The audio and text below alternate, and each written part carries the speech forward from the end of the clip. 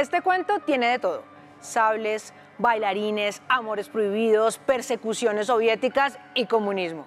Comienza en 1903, cuando en Georgia nace Aram Kachaturian, hijo de papás armenios y con un talento tremendo para la música. Luego, en 1921, después de la sovietización del Cáucaso, es decir, de que todos los países de la cordillera del Cáucaso adoptaran los preceptos políticos y sociales de la Unión Soviética, Kachaturian se fue a vivir a Moscú.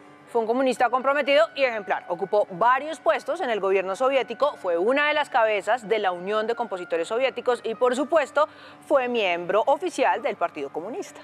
Bueno, a excepción de un par de meses en los que lo acusaron de formalista y no lo quisieron tanto. Mejor dicho, resulta que en la Unión Soviética solo estaba permitido el realismo socialista, o sea, el arte cuyo propósito era expandir la conciencia de clases. Así que los formalistas, o sea, los artistas que seguían con las ideas de la Academia Europea, que hablaba de la forma, el sonido y el arte sin propósitos de clases, fueron declarados non grata. En 1948, a Cachaturian lo denunciaron como formalista y estuvo un par de meses entre los non gratos, pero como él era de corazón rojo con os y martillo, hizo una declaración pública diciendo que su música era antiformalista.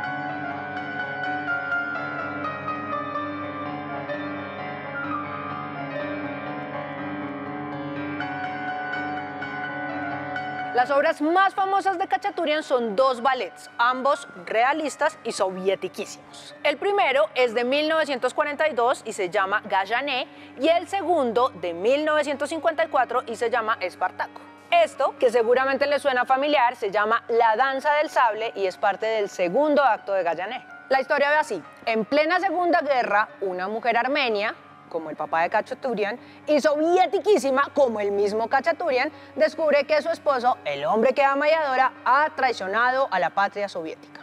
Eso, por supuesto, es gravísimo, porque para el Partido Comunista la patria está por encima de cualquier cosa y es sagrada. En ese segundo acto, Cachaturian incluyó una serie de danzas folclóricas de Asia Central. Entre esas danzas hay dos de origen kurdo, o sea, de Kurdistán, que ahora es Turquía, Irak, Irán y Siria.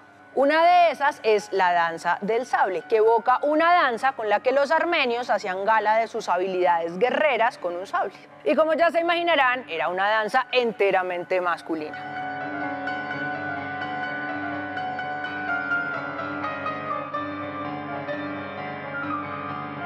Cuando uno busca en internet danza del sable, lo primero que encuentra son bailarinas árabes que bailan con un sable en la cabeza. Pero ya les conté que la danza kurda era solo para los hombres, porque ellos eran los que iban a la guerra y manejaban sables. Entonces, ¿de dónde salen las bailarinas? Pues resulta que las danzas tradicionales orientales han sido rescatadas por mujeres. De ahí viene la famosísima danza del vientre. Así que las coreografías que sobreviven pues son esas que ellas nos han mostrado. Yo soy Laura Galindo M y esto es un cuento para contar de Señal Clásica y RTBC Noticias.